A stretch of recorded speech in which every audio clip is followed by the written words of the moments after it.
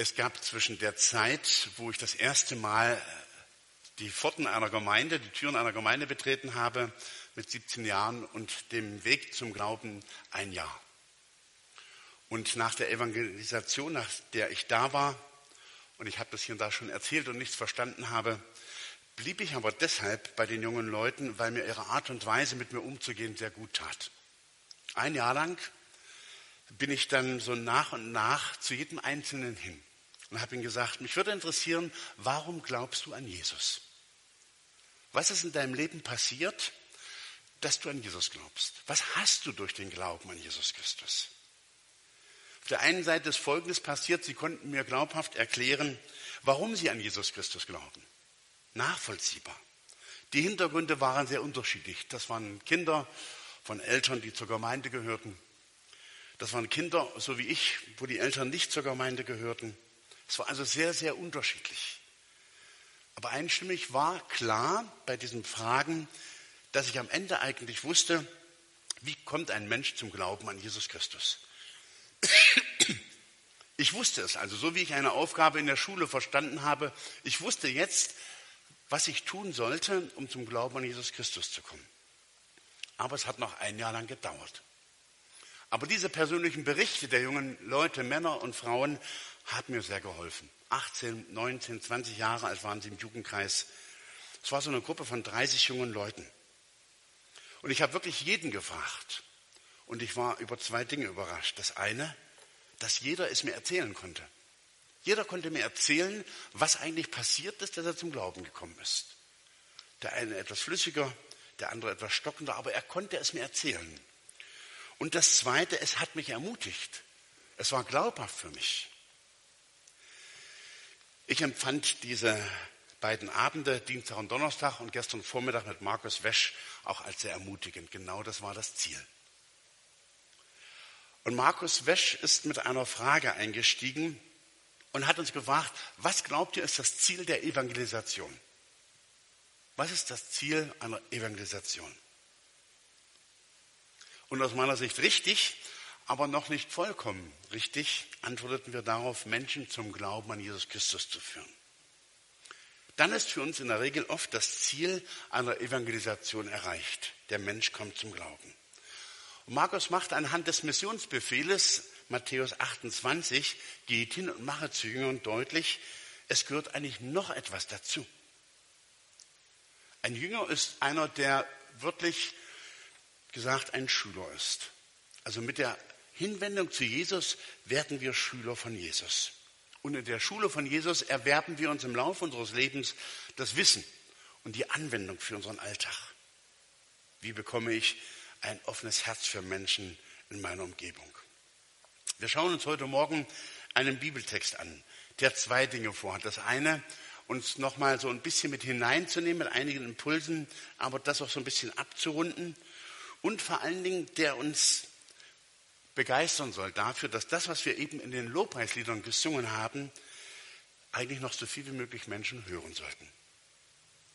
Wir schauen uns den Bibeltext an und ich lade euch ein, ich zeige ihn euch in vier unterschiedlichen Abschnitten, mal darauf zu achten, wie viele Menschen in diesem kurzen Text zum Glauben kommen. Ich lese nach der neuen Genfer Übersetzung, steht im ersten Johannesbrief, Kapitel 1. Und ich beginne mit den Versen 35 bis 39. Am nächsten Tag stand Johannes wieder am gleichen Ort. Zwei seiner Jünger waren bei ihm. Da ging Jesus vorüber. Johannes blickte ihn an und sagte, seht, dieser ist das Opferlamm Gottes. Als die beiden Jünger das hörten, folgten sie Jesus. Jesus wandte sich um und sah, dass sie ihm folgten. Was sucht ihr? fragte er. Rabbi, erwiderten sie, wo wohnst du? Jesus antwortete, kommt mit, dann werdet ihr es sehen. Da gingen die beiden mit ihm. Es war etwa vier Uhr nachmittags. Sie sahen, wo er wohnte und blieben für den Rest des Tages bei ihm. Es ist von Johannes dem Täufer die Rede. Und er bezeugt es zwei Menschen. Und es heißt da schlicht und einfach, und sie folgten Jesus nach. Das ist mir noch mal hängen geblieben in diesen Tagen, dass wir sicher sein dürfen, wenn in unserem Leben sichtbar wird, wem unser Leben gehört, dann bleibt das nicht ohne Auswirkung. Dann müssen die Leute eigentlich fragen, warum ist das so bei dir und warum ist das so anders bei mir als bei mir? Die Glaubwürdigkeit unseres Zeugnisses, die ist oft auch wichtiger als wohlformulierte Worte. Sie schauen auf das, wie sie uns erleben. Zwei sind das. Einer der beiden Männer, die Verse 40 bis 42, die Jesus gefolgt waren, weil sie gehört hatten, was Johannes über ihn gesagt hatte, war Andreas, der Bruder von Simon Petrus. Andreas sah kurz darauf seinem Bruder Simon, wir haben den Messias gefunden, berichtet er ihn. Und dann nahm er ihn mit zu Jesus. Jesus blickte ihn an und sagte, du bist Simon, der Sohn des Johannes, du sollst Käfers heißen. Jetzt wird der eine also namentlich genannt, wo es am Anfang nur heißt zwei. Der andere wird namentlich nicht weiter erwähnt, das ist Andreas. Und er kann es auch nicht für sich behalten. Er trifft seinen Bruder Simon und es ist ihm wichtig, seinem Bruder das weiterzugeben. Und wenn ihr mal überlegt und an Geschwister denkt, an eure Geschwister, an Verwandte, und an die denkt, die dabei nicht zum Glauben gekommen sind, dann ist das nochmal eine Erinnerung daran, dass das eigentlich etwas ist, was zu unserem Leben dazugehört. Der erste Weg ist natürlich mitten in die Verwandtschaft hinein. Und wenn ich aus eigener Erfahrung sage, dass das nicht ganz leicht ist, dann könnt ihr mir das glauben. Aber es lohnt sich. Es lohnt sich dann zu erleben. Zu erleben, wie Menschen zum Glauben kommen. Ich weiß nicht, wie viele Jahre ich gebetet habe und es ist nichts passiert bei meinen Geschwistern. Und ich hatte einen, der hat mich wirklich gehänselt, das muss man so sagen, aufgrund meines Glaubens. Wenn ich morgens in den Gottesdienst ging, sagt der Bruder, mach's gut, Halleluja. Der konnte weder mit Bruder noch mit Halleluja etwas anfangen. Der hat mich barbarisch gehänselt. Und ich war schon nicht mehr zu Hause, wohnte mittlerweile woanders. Und er schrieb mir eines Tages, dass er von jungen Leuten aus der Gemeinde, wo ich auch war, eingeladen worden ist und dort zum Glauben gekommen ist. Ja, ich habe Rotz und Wasser geheult jahrelang für ihn gebetet und es ist nichts passiert. Und irgendwann schon fast gedacht, das wird nichts mehr werden. Er ist zum Glauben an Jesus Christus gekommen. Das war der dritte. 43 bis 44. Als Jesus am nächsten Tag nach Galiläa aufbrechen wollte, begegnete ihm Philippus. Folge mir nach, sagt Jesus zu ihm. Philippus stammt aus Bethsaida, der Stadt, aus der auch Andreas und Petrus kamen. Also die beiden, die davor schon genannt werden und zum Glauben gekommen sind. Hier wird Philippus von Jesus zum Glauben gerufen. Das ist der vierte. Und dann haben wir den letzten. Und Philippus sah Nathanael und sagte zu ihm, wir haben den gefunden, über den Mose im Gesetz geschrieben hat und der auch bei den Propheten angekündigt ist, es ist Jesus, der Sohn Josefs. Er kommt aus Nazareth. Aus Nazareth entgegnet Nathanael, was kann aus Nazareth Gutes kommen? Doch Philippus sagt nur, komm mit und überzeuge dich selbst. Da rief Nathanael, Rabbi, du bist der Sohn Gottes. Philippus lädt also seinen Freund ein, seinen Freund Nathanael. Nathanael gehört zu denen, und auch die kennen wir, der nicht sofort bereit ist, das einfach zu glauben. Er hat seine Bedenken, seine Einwände, was kann da Gutes kommen? Und auch das erleben wir ja, dass Menschen, denen wir das erzählen vom Glauben, ihre Bedenken, ihre Einwände haben. Und Markus hat uns daran erinnert zu sagen, nehmt diese Einwände ernst, geht darauf ein, wertschätzend darauf ein. Und weil es Johannes, Andreas und Philippus nicht für sich behalten konnten, kommen fünf Menschen zum Glauben an Jesus Christus. Was ist passiert? Was haben Johannes, Andreas und Philippus den Menschen gesagt? Was ist der Inhalt ihrer Einladung?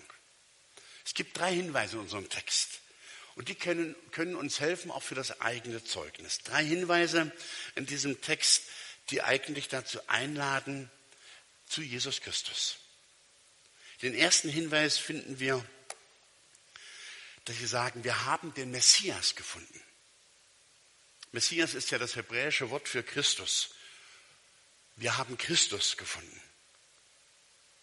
Das heißt also, etwas sehr Wesentliches, fast eine Binsenweisheit, ist aber notwendig, dass uns deutlich wird, Nur wenn ich persönlich Jesus Christus gefunden habe, kann ich natürlich davon erzählen. Das Ganze bleibt dann nicht mehr so nebulös. Meine jungen Freunde damals konnten mir sehr genau erzählen, was da passiert ist und wie sie Jesus Christus gefunden hatten. Die Jünger nutzen also ihr ganz persönliches Erleben mit Christus, um den anderen davon zu erzählen. Das ist immer das Beste. Sie sagen, wir haben den Messias gefunden. Im ersten Johannesbrief sagt Johannes, wir haben es gehört. Wir haben es mit eigenen Augen gesehen. Wir haben es mit angeschaut, mit eigenen Händen berührt. Ja, das Leben selbst ist sichtbar geworden. Und wir haben es gesehen. Wir bezeugen es, wir verkünden es euch, das ewige Leben, das beim Vater war und für uns sichtbar wurde. Ralf Jochen hat das am Anfang gesagt, wir sind eingeladen worden und haben gestern sehr intensiv darüber nachgedacht, wie kann ich denn meine eigene Geschichte erzählen? Und Markus hat uns daran erinnert, zu sagen, wir haben ja unsere eigene Geschichte und es hilft mal aufzuschreiben, dann kriegt es eine Konzentration. Und das Ganze darf nicht länger dauern als drei Minuten. Sicherlich wollt ihr uns nicht festlegen, wenn das dann zehn Sekunden länger dauert oder weniger ist. Aber er ermutigte uns und sagte, erzähl deine eigene Geschichte. Wir haben ja in diesem Sommer begonnen, wollen nächsten Sommer weitermachen im Garten diese zum anderen Abende. Und die waren in diesem Sommer davon geprägt, dass Menschen vom Glauben an Jesus Christus erzählen. Und wir werden also auf euch zukommen. Wir werden euch fragen, könnt ihr euch vorstellen, an solch einem Abend eure Geschichte zu erzählen? Und ich lade euch ein, das mal für euch persönlich zu Hause zu machen, das mal aufzuschreiben, eure Geschichte, wie ihr den Messias, den Christus gefunden habt.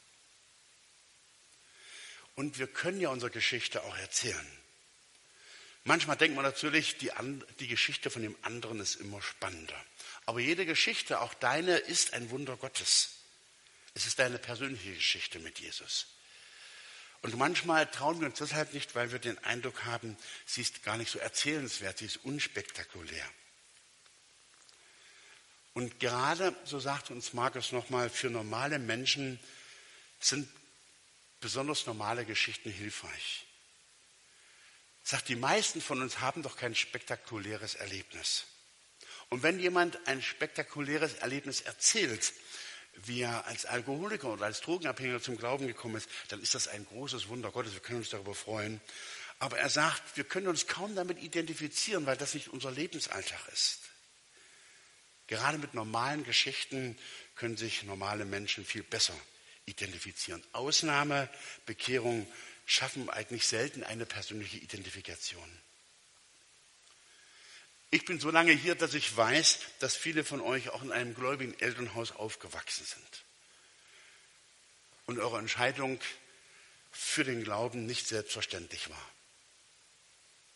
Und für euch, die ihr so aus diesem Hintergrund kommt, ihr könnt einfach mal mit einigen Fragen darüber nachdenken, wie eure Geschichte aussehen könnte. Ihr könntet euch fragen, wo wäre ich denn heute ohne Jesus?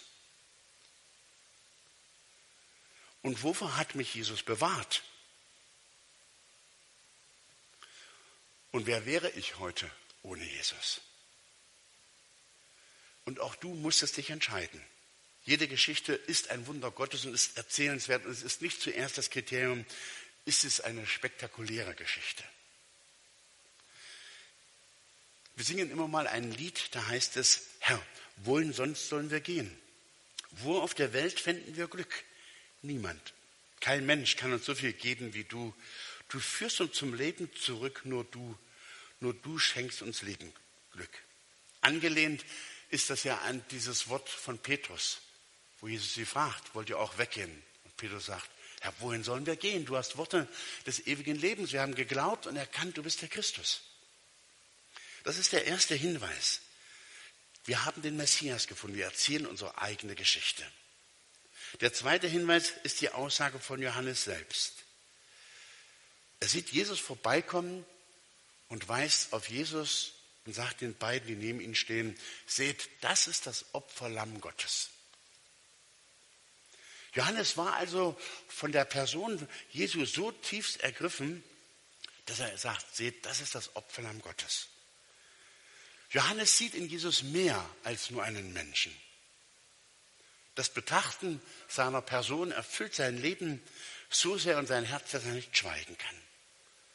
Er muss es zum Ausdruck bringen, was ihm das bedeutet. Seht, das ist das Opferlamm Gottes. Man hat ja den Eindruck, dass Johannes gar nicht direkt zu jemandem gesprochen hat, sondern dass einfach sein Herz so überfloss, als er Jesus sah, von dem, was ihn erfüllte. Und als die beiden das erkannten, was Jesus dem Johannes bedeutet, kommt das eigene Verlangen auf. Und es heißt, und sie folgten Jesus nach. Seht, das ist das Opferlamm Gottes. Die Frage ist ja, was siehst du, wenn du Jesus siehst? Was bedeutet dir Jesus Christus? Das ist der zweite Hinweis, den wir im Text finden, der uns helfen kann, wenn es um unsere Geschichte geht, um Menschen vom Glauben zu erzählen. Und der dritte Hinweis ist der, den wir auch finden, da heißt es, komm mit und überzeuge dich selbst. Komm mit und überzeuge dich selbst. Kommt und seht. Sie folgen ja nicht Johannes nach, sondern sie folgen Jesus nach. Und was geschieht, als sie dem Herrn Jesus nachfolgen? Er stellt ihnen diese Frage und sagt, was sucht ihr? Und das ist ja die Frage, was suchen wir bei Jesus?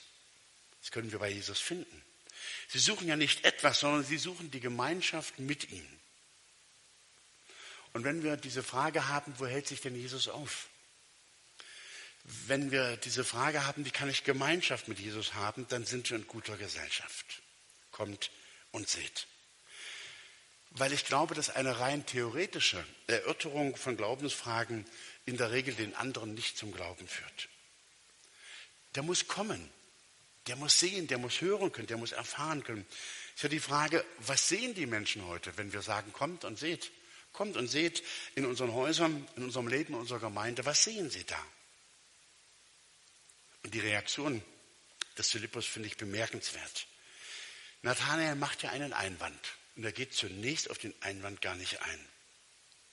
Sondern er sagt eigentlich das, was Jesus gesagt hat. Er sagt, komm, sieh es dir doch an. Wenn ich dir nicht alle deine Fragen beantworten kann, so will ich dich einladen. Jesus wird deine Zweifel ernst nehmen. Du kannst Jesus begegnen. Und Philippus war in den Augen seines Freundes Nathanael so vertrauend und glaubwürdig, dass Nathanael auf diese Aufforderung hingeht. Und die Begegnung endet mit dem Bekenntnis von Nathanael und da haben wir die fünfte Person. Du bist der Sohn Gottes, du bist der König Israels. In diesem kurzen Text wird also von Vers 35 bis Vers 46 wird erzählt, wie fünf Menschen zum Glauben finden. Sehr komprimiert, sehr verdichtet. Das heißt also, das ist das, was wir sagen können. Kommt und seht. Lerne den Gott kennen, an den ich glaube. Und ich glaube, wenn unser Leben das unterstreicht, wenn unser Leben das unterstreicht, dass wir an Gott glauben, dann ist das schon ein großes Fund, was wir haben. Weil das ist die Glaubwürdigkeit, die der andere braucht. Er muss wissen, erzählt er es nur und, oder steht auch sein Leben dahinter. Komm und sieh. Damit Menschen also in unserem Lebensumfeld wirklich erfahren und verstehen, müssen wir hingehen und es ihnen erklären. Genauso wie Worte ohne Taten leer sind, so sind auch Taten ohne Worte leer. Ich kann das Evangelium leben und erklären. Und es bleibt dabei, und das war so das Entscheidende in diesen Abenden und gestern Morgen, nochmal neu die Erinnerung, Gott will, dass alle Menschen zur Erkenntnis der Wahrheit kommen. Also meine Bitte ist an euch, setzt euch doch mal hin. Schreibt eure Geschichte auf. Und wir werden auf euch zukommen. Werden auf euch zukommen und euch einladen, zu sagen, könntet ihr euch vorstellen, zu, bei solch einem Gottesdienst eure Geschichte zu erzählen. Und dann seid ihr nicht ganz unvorbereitet, dann habt ihr es schon mal im Gottesdienst gehört. Kommt und seht. Amen.